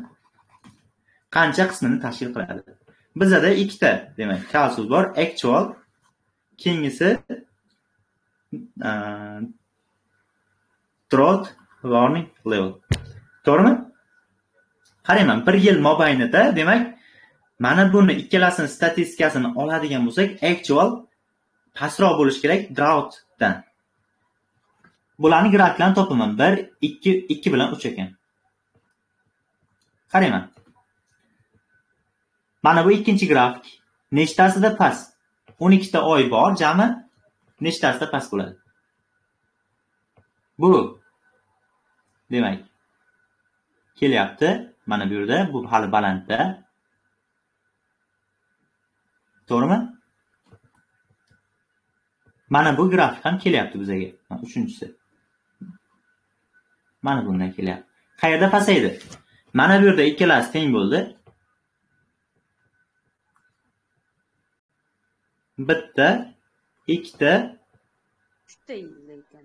uchtada pasayyapti mana bu teng bo'lgan holatini olmaymiz. Mana bunda past mana bunda past mana bunda past chunki mana bu chiziq tepada bo'lyapti. o'n ikkidan nechi bo'ladi? Uch bo'ladi. Shunga approximately taxminan javobni olasizlar. Endi mana bu yerda o'n ikki sakkiz nima qilib qo'ygan? Taqriban bo'lgani uchun tak ikkiga ko'paytirib qo'ygan. Olti taqsim yigirma to'rt degan. Va mana bu yetti bo'lib qolgan faqat. Eng yaqin javobimiz yetti taqsim yigirma to'rt bo'ladi. Tushundingizlar? Plyus minuslari bilan shunaqa bo'lyapti. Taxminan. Qisqa javob. Hammaga tushunarli bo'ldimi? Mana shunda nimaga to'rt olmadik? Uch oldik. To'rt ololmaymizda chunki uchtasi pastda mana bir ikki uch. Qolgani chiqib ketyapti bitta teng bo'lib qolgan.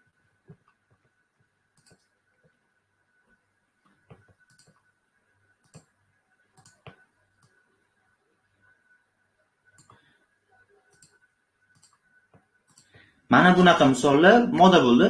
Oxirgi testlarda balkim testga kirgan ustozlarimiz ko'rgan bo'lishi mumkin.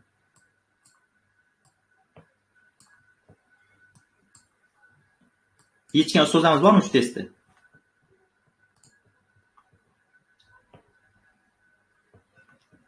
shu testni yechgan o'qituvchilarimiz bormi? Menda d chiqdiyu to'g'ri noto'g'riligini bilmadim. o'n yetti chiqdi. Javob. Qirq birdan yigirma to'rt shunday shunday. Qarang. A typing test typing degani yozish.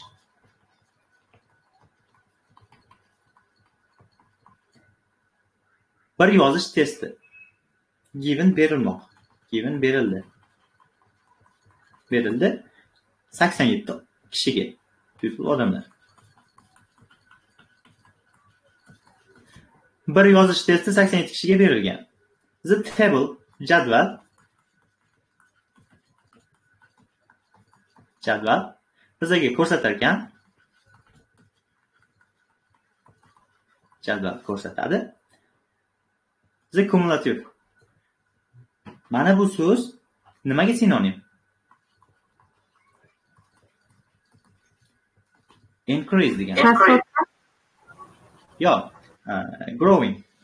Buni sinonim so'zlari bor. Nima? O'sish. O'sish. Increase increase yoki growing grow degani ham o'smoq-ku o'sish deb tarjima qilinadi hammasi frequency bo'lsa chastota E, takrorlanishlar soni desak ham bo'ladi chastota endi mana bu ikkalasini biriktiraman mana bu ikkalasini biriktirsam demak takrorlanishlar soni ning o'sishi yoki chastota o'sishi chastota demak oshib borishi deymiz typing testda sakson yetti kishi qatnashgan bizaga jadval chastotani oshib borishini ko'rsatadi. Va distribution taqsimlangan taqsimlangan for the numbers of errors. Errorlarning the number of errors bo'lsa errorlarni soni ya'ni xatoliklarni soni. Xatoliklar soni distribution taqsimlanishi uchun demak chastota o'sib borishi ko'rsatilgan. O'sib borish. Made by this group ya'ni bu guruh tomonidan qilingan xatolarning o'sib borishi. This group bo'lyaptiku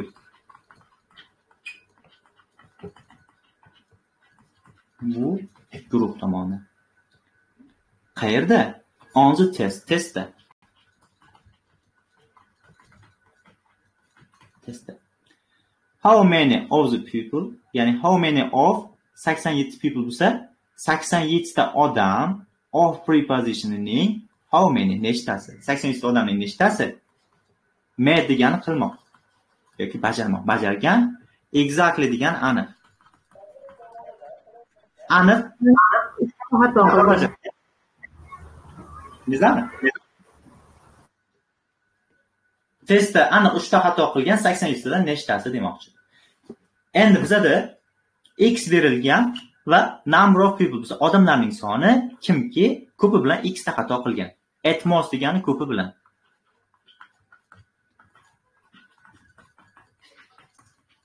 Ko'pi bilan x ta xato qilgan. Endi qarayman. nolta xato qilganlar ko'pi bilan 5 ta. Tushunyapsizlarmi? Masala sharti bo'yicha. nolta xato qilganlar. Ko'pi bilan 5 ta. Ko'pi bilan demak 16 ta odam bitta xato qilgan. Ko'pi bilan demak e, 16 ta odam debman. E, 16 ta odam bitta xato qilgan. E'tibor qiladigan bo'lsak, 5 ta odam 0 ta xato qilgan. 16 ta odam ko'pi bilan bitta xato qilgan. 16 ta odam. Mana bu so'zga e'tibor beramiz. At most ko'pi bilan ikkita xato. Ko'pi bilan bitta xato. Ya'ni xatolar soni. Kichik yoki teng 1. 1 xatolar soni faqat. Endi e'tibor qiladigan bo'lsam, agar 5 ta odam 0 ta xato qiladigan bo'lsa, aniq bitta xato qilgan odamlar soni nechta bo'ladi? 11 ta. 11 ta bo'ladi. Tushunyapsizmi? Chunki ko'pi bilan bitta xato qilganlarni ichiga nolta xato qilganlar ham kirib qoladi. Bu degani agar agarda ko'pi bilan 0 ta 5 ta odam nolta xato qilgan bo'lsa, bu xato qilmaganlar. Ko'pi bilan 16 ta odam bitta xato qilgan. Bu degani ichiga xato qilmaganlar ham bor. Shuning uchun ham 16 minus 5. 0 ta odam 5 ta xato qilgan, 11 ta odam aniq bitta xato qilgan. Ko'pi bilan 2 ta odam, e, ko'pi bilan 24 ta odam ikkita xato qilgan. Bu degani mana bu 24 ta odamni statistikasini qaraydigan bo'lsak, xatolari soni ko'pi bilan ikkita. Xatolari bitta ham bo'lishi mumkin, 0 ta ham bo'lishi mumkin. A biza boshida 5 ta 0 ta xato qilganlar, 11 ta aniq bitta xato qilganlarni topdik. Aniq ikkita xato qilganlar, demak 24 minusdan necha ikkita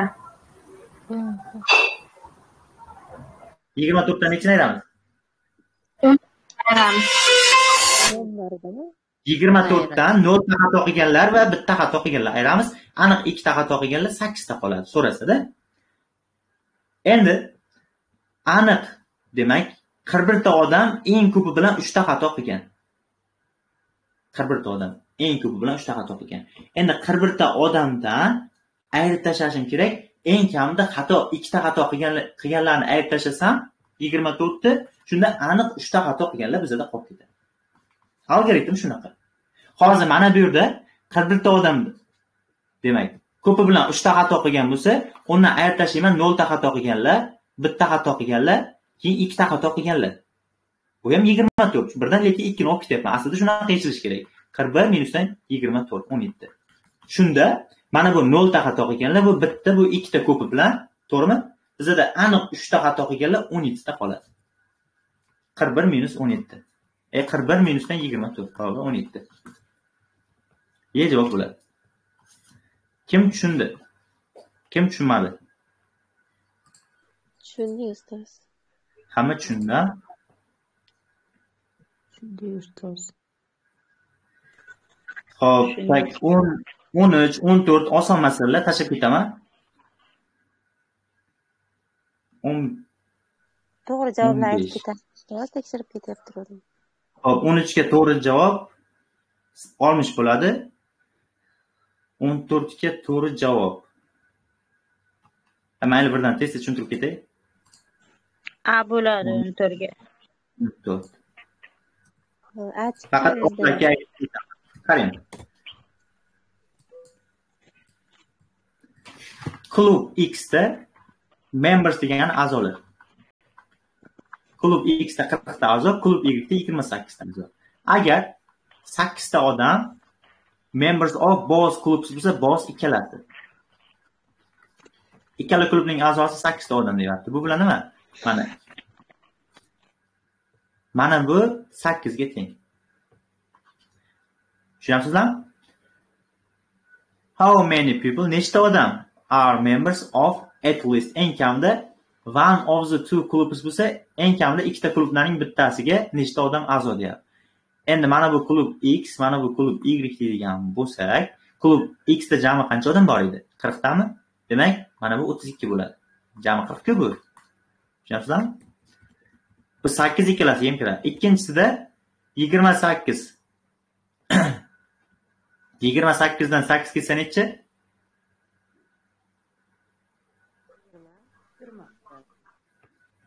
Yigirma ikkalasini qo'shib qo'yamiz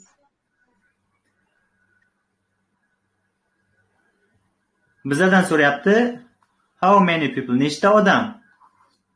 Eng kamida bitta klubga a'zo deyapti. Nima bo'ladi shunda? o'ttiz ikki plyusdan sakkiz plyus yigirma bo'ladi. Barobar qirq plyusdan yigirma barobar oltmish bo'ladi. Tushundingizlarmi mana bu sakkizta odam ikkitaga kirib qolgani uchun ham demak olib tashladim ikkalasidan ham birinchi klubda qirqta ikkinchi klubda yigirma sakkizta. Shunda sakkiztasi ikkalasiga ham kirgan. Klubda nechta odam bor desa sakkiz plyus yigirma demak oltmishta bo'ladi shunda. Javob. N kvadrant bir. Kvadrant nima degani? Chorak. Chorak. X y plane birinchi chorakda bir uchburchak vertex degan uchlari r r. Mana shu misol bitta o'qituvchiga tushdi egzamda yopiq testga yopiq testda kelganda e'tibor qilgan bo'lsangiz savollarga o'zim kalitib qo'yganman. Ustoz dedi mana bu so'zni bilmagan. Birinchi chorak kvadrant bir deyaptiku. Erda qiymati ikki xil chiqib qoldi deyapti. Men yopiq testga qaysi bir- birini kiritay deyapti. Manfiy sonim bor musbat sonim bor deyapti. Shunda bilmay qoldim dedi. Hozir birinchi chorakda joylashgani uchun nima bo'ladi? Musbat bo'ladi. Ha mana shu misol xato kelganda yopiq yopiq testda kelib qolgan ekan. Mana bu ero r nuqta. Mana bu to'rt ero r nuqta. Ero uch r nuqta. What value of r. R ning qanday qiymatida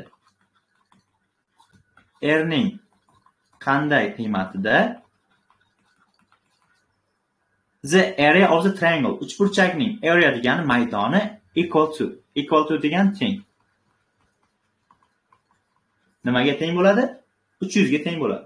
Endi mana bundan biza masofani topadigan bo'lsak nima bo'ladi? Ikki e, ikki nuqta orasidagi masofani topadigan bo'lsak ildiz osti to'rt r minus r ning kvadrati.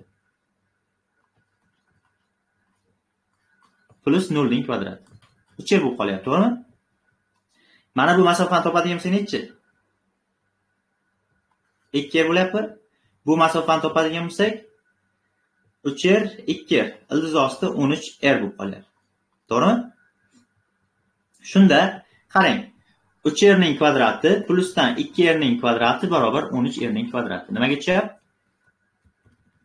Pifagor teorema ildiz osti o'n uchdan o'n uch r kvadrat mana bu burchak to'qson bo'ladi to'qson bo'lgani uchun uch r ko'paytiruv ikki r taqsim ikki barobar uch yuz. Olti r kvadrat barobar olti yuz.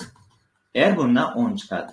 Kvadrant bir degani birinchi chorak. Mana bu chorak balkim boshqa kelgandir yopiq testda kelgan r ikkita qiymat chiqadi shunga qarab olasizlar. Bir desa ikki uch va hokazo chorakka qarab demak koordinatani olish kerak.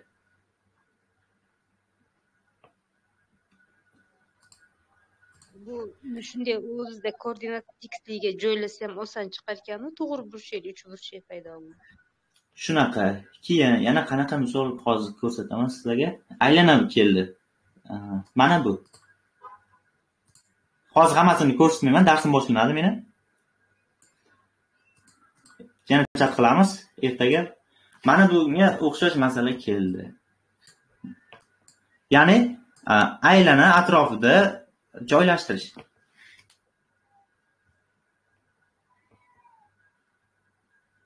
Oldin ko'rgansizlarmi shunga o'xshash. Bugungi testda bor Ko'pchilik- ekan ha qarang ustozi masalan ko'pchilik nima qiladi? Testda to'rt faktorial deydidan barobar yigirma to'rt deydi. Yigirma to'rt bilan sakkiz taqqos deydi miyaga kelgan birinchi fikr shu. Aylanaga joylashtirganda.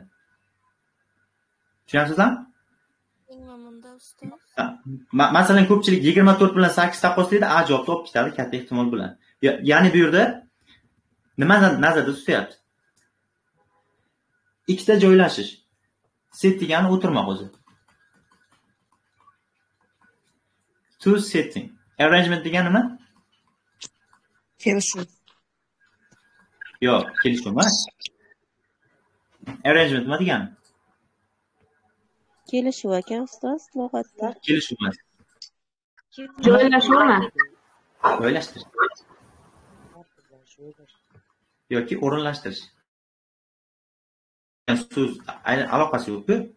Demak ikkita o'rinlashtirishlar yoki joylashtirishlar odamlarni nimaga? Around a circular table. Around degani atrofida. Nimani atrofida Dumaloq stol. dumaloq dumaloq stol atrofida are called bo'lsa deb ataladi Qo'lli deb nomlangan, atalgan. Ataladi. bir xil. the same bir xil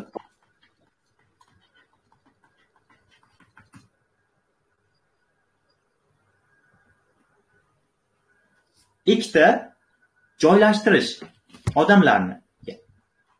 Around the circular table. Aylanasimon stol atrofida odamlarni joylashtirish ikki xil ya'ni ya'ni ikki xil mana bu joylashtirish deyapti. The same. For each har bitta o'tirgan odam the same person ya'ni bir xil odam is o'tirgan to that person. Anavi odamga nisbatan immediate degan darhol. O'ngda boz arrangement. Ya'ni ikkita o'rinlashtirganda ham o'ngga nisbatan bo'ladigan bo'lsa boz arrangement. Ikkita joylashtirganda ham. Demak o'ng tomonda turadigan bo'lsa bu joylashtirish ikkita joylashtirish bir xil bo'ladi deyapti. Bu bilan nima demoqchi? Yana uni tushuntiraman. Ikkita joylashtirishlar odamlarni ya'ni siz odamlarni doiraviy stol atrofiga kelyapsiz ikki xil usulda joylashtirmoqchisiz. Lekin ular bir xil bo'lib qoladi qachon shunaqa bo'ladi? Agar har bitta o'tirgan odam anavi o'tirgan odamga nisbatan yana o'ngda bo'lib qolsa ikkita nima qilinganda ham joylashtirilganda ham bu bilan nima demoqchi? Mana bu bizada aylana bor. Mana aylana men odamlarni joylashtirmoqchiman. Masalan a b c d i f. Bitta joylashtirishlar soni. Endi hozir qaraydigan bo'lsam a odamni oldim. Aga nisbatan f qanday turibdi? O'ngdami chapdami? Chapda. Turibdi to'g'rimi? Yana bitta aylanadi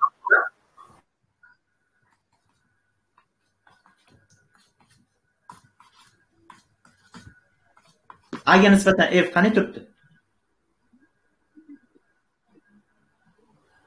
Aga nisbatan f chapda turibdi. Demak biza o'rinlashtirganda buni mana shu holat takrorlansa yoki aga nisbatan b qanaqada turibdi? O'ngda yana o'ngda turibdi. Buni biz ikkita ikkita usul deb olmaymiz. Ikkita holat deb olmaymiz.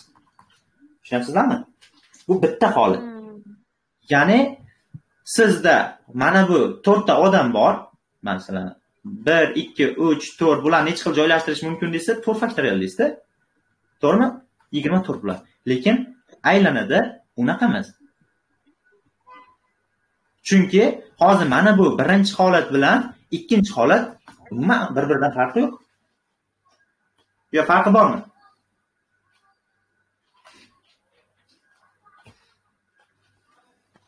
Yo'q farqi yo'q. Farqi yo'qda tushunyapsizlarmi masalada qanaqa keladi? Agarda ikki xil usulda keladi. Masalan ikki xil shart berish mumkin. Aylana atrofida odamlarni demak nechi xil usulda joylashtirish mumkin desa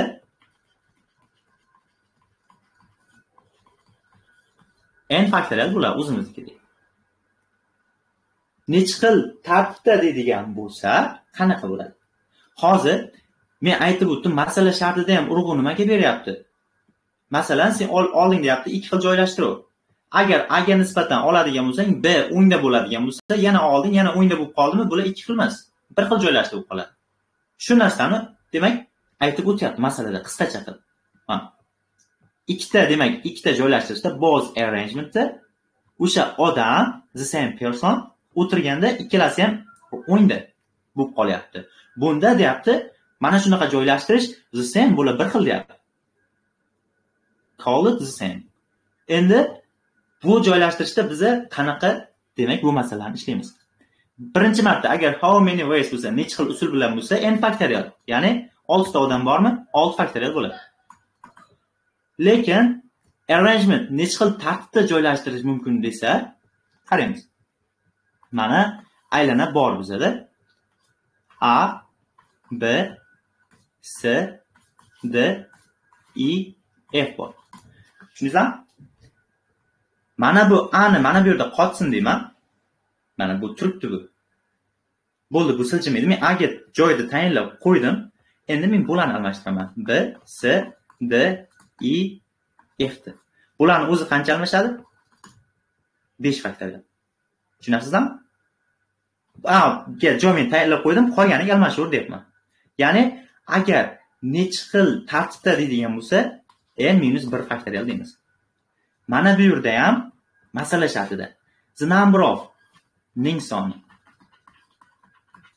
different sitting ya'ni turli xil o'tirishlar. Bu yerda ham masala aytyapti turli xil o'tirishlar deyapti. A mana bu holat bilan bir bilan ikkinchi holat bizada bir xil bo'lyaptiku buni ikkita deb olmaymiz. Agar how many ways bo'lsa nechta usul bilan nech- deganda olardik. Lekin arrangement tartibda necha xil tartibda deyapti. Bular bitta narsa. Shuni esdan chiqarmaymiz. The number of different sitting bo'lsa turli xil o'tirishlar soni to'rtta odam uchun. Around the circular table bo'lsa bu to'rt minus bir faktorial bo'ladi. Tushunyapsizlarmi barobar. Demak nechi bo'ladi? Uch faktorial. Olti bo'lib qoladi javobi. Bunaqa o'tirishlar soni oltita sakkiz bilan taqqoslaydigan bo'lsak b javob to'g'ri bo'ladi. Aytib o'taman so'zda ikkalasi ham testga tushgan. Agar mana bunaqa holat so'raydigan bo'lsa how many ways nechi xil usulda n faktorial o'zgarmaydi. Agarda arrangement bilan kelsa nechi xil usul bilan turli xil deydigan bo'lsa different sitting degan turli xil o'tirish. Bunda n minus bir faktorial bo'ladi. Oddiygina eslab qo'ysangizlar ham bo'ladi. Tushundingizlarmi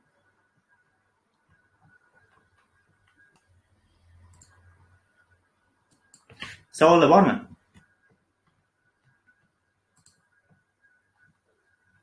Ustoz yigirma uchta ham ko'rib ketaylik. Vaqtingiz bormi? Yigirma uch. Ho'p yigirma uchga qisqacha bitta formula berib ketaman. Oddiygina to'plamku bu?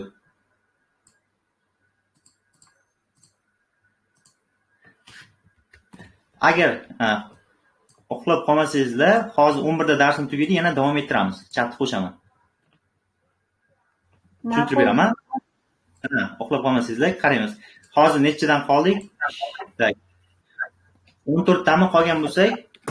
Qolganini hozir chatga yoqib yana ko'ramiz savollarni. Ertaga xudo xohlasa keyingi yigirma yettitalik test ko'rgan bo'lsangizlar ehtimolga doir savollar yig'ilgan doir savollar bor. O'shalarni ko'rsataman tushundingizlar yetmishu ellik chatda necha kishi bor hozir? Chatda sakson yetti kishi bor ekan. Ko'ramiz. Qolgan ikkita testni to'liq tahlil qilib beramiz nimaga? Chunki eng murakkab testlarni murakkabroq darajasi yuqori bo'lgan testlarni olganman ko'ramiz bularni. Hozir chat yo'q ikkinchi testni aytib yuboring nomerini. Ikkinchi testni hozir tashlab yuboraman bu bugun tashlandi. Ikkinchi bu bu testlar ustida ha yechib chiqingizlar hammasini to'liq qilib chunki ko'pchilikda muammo bo'lgan savollarni yozganmiz. Mana gruppaga tashlab qo'ydim. Ko'rdingizlar? Bo'lmasa chatni yopaman qolgan joydan keyin o'n birdan keyin davom ettiramiz vaqtga qarab